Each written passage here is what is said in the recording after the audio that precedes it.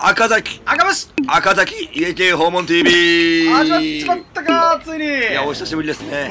はい今回は大道や柏本店に行きました。出た。出た出たもともとね柏にあったんですけど一はい。度茨城の砦にね移あ転して10月1日に戻ってきました。行ってきましたよ。はい JR 常磐線のねはいはい。柏駅西口から徒歩5分ということでもともとの吉村屋直系だったんですけどもはいはいはい。まあ独立しましてええまあ超有名店としてねなるほどね。人気ですけどもこちらの大道屋ですけどね行ってきました。もう列がね半端ないですよ。うわーこれ全部並びの人ですよねこれね。いやーねあの2 3 0人ぐらいいたんじゃないですかね。うわ人気。はい食券行きましょう。はいはいはいはい。ラーメンネギラーメンつけ麺。野菜ラーメンもね野菜ラーメン。マシマシでありましたけども。あーそうなんだ。はい今回僕はですねええチャーシュー麺。あら。来ました。だねやっぱあの直系の系譜なんでね。やっぱ王道いきますチャーシューがめちゃめちゃうまいですからね。なるほど。あー楽しみ。あーこれはいいね。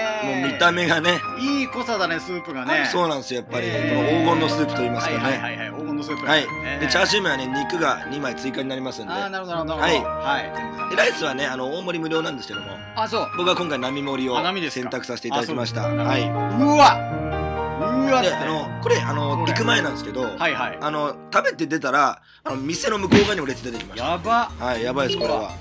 すごいな。はいじゃあまずスープから。あスープからいきましょう。いきますね。一口いただきますけど鍋からはみ出るほどの柄を使用したスープ。うまそう。動物系のパンチがね効いた仕上がりです。まあ濃さが違いそう。あそうですね。やっぱあの醤油の濃さがね他の家系とは違うんじゃないかっていうのがね見てわかりますねこれはね。なるほど。はい。で焼き豚ですね。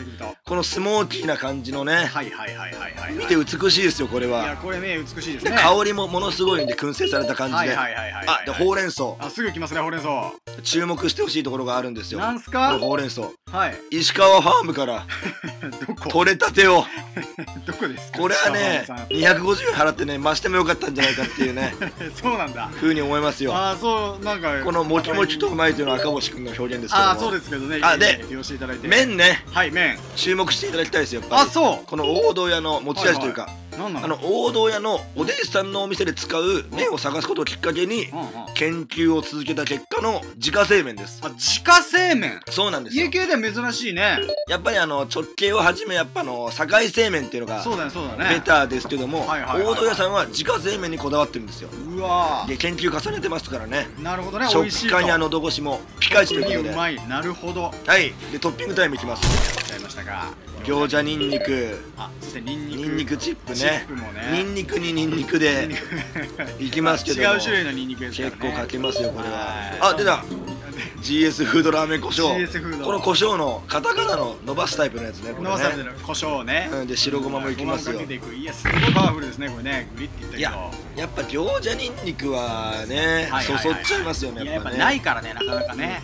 もうある時点でもう入れることは確定ということで。まあ確かに確かに確かに。ええ。でもう全てを運んでいきますねやっぱね。全てを運んでいくであの僕の首元の中の青いシャツは無視してください。いや別にあの気になってないですよ。あのキャラクターものの気がしてたんで、はいかぶせたんですねはい。でめちゃめちゃうまいっす。あそうですか。あはい。りがとうございます。ライスいきましょう。ス。あーそしてライスですね。チャーシューをね2お決まりの。枚温存してたんですよ。あーそっかそっかそっか。はい。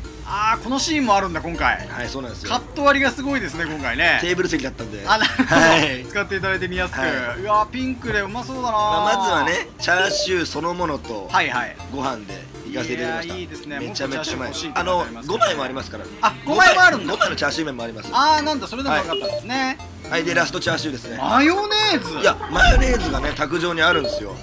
かけるしかねえっつって。えー、結構かけたけど。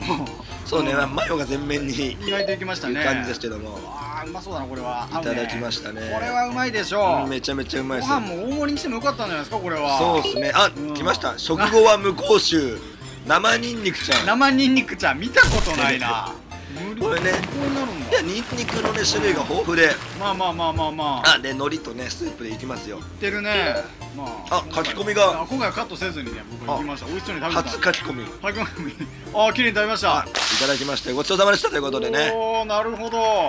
ニンニクの種類に定評もあるあそうそう餃子ニンニクすりおろしニンニク生ニンニクニンニクチップ。ニンニクチップニンニクしてんのの家系戦闘ニンニ力はクセットしてるからああ戦力89点に。89点に。多分今までで最高じゃないですか。最高ですね、はうわすごいけどちょっと一ついいですか？い、はい、こ声どうしたんですか？あのー、ちょ昨日のライブでね、はい。ちょ喉潰してしまいまして。ああそうですか。はいそうなんですよ。めちゃめちゃ聞き取れたかな今回。ちょっとあのー確認してみましょう後でね。あそうですよね。ちょっとでも熱量でカバーしたんじゃないかって思うんで。いやであのー先着で、はいはい。あの LINE に登録したらキーホルダーももらえるっていうのでえ？僕もらってきました。画像ないけど画像差し込みますか、私これここに。こうやってね。まあ、あとあの王道や T シャツもあります。王道や T シャツ？あ買ってきましたよ。買ったの？はい。画像ないけど。えっと差し込みますか。ここにパッと。はい。で店内も清潔でね。あそうですか。はい。いやー家系いや僕も影響されてね家系行きたくなってきますから本当に。王道やっちゃいましょうよ。あー代々木の美味しいお店この前行ってきました。わ代々木ですか？ラスタっていうラスタっすかラスタライブ会場の。ライブ会場の。じゃなくてはいたまたま家系の一番行きたいですけどね。えーごちそうさまでした。あありがとうございますありがとうございました。押してください。はい「